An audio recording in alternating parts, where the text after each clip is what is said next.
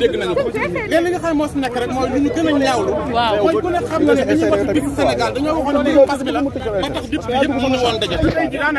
téeméer député ak fanweer day na si biir salle bi kon respecté wu li nga xamante ni mooy mesure barrière yi ñun nag ay député yoo xamante ni lépp lu ñuy wax nekk dañoo leer rapport bi moo nekk nii lii mooy rapport bi gendarmerie defar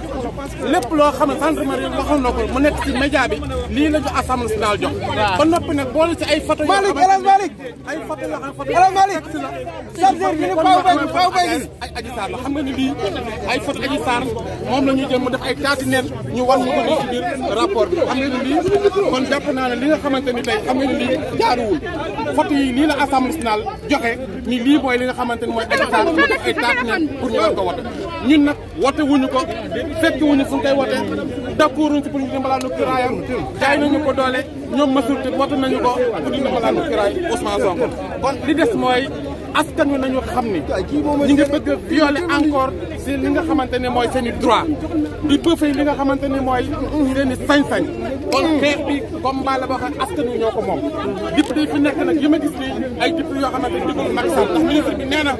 moom moo jox information ministre Macky Sall mercredi te waxul dëgg Macky Sall mi ngi ko yëg mardi kon bu ne moom moo jox ministre Macky Sall pour information mercredi conseil des ministres le ministre bi wax du dëgg li nga xamante ne mooy PV bi PV bi nga xamante ne moom la ñu doon wax x moo si nekk bi nga xam moo jël kàddu gi Serigne Cheikh ak la présidente ki nga xam mooy ak ki nga xamante ne man mënuma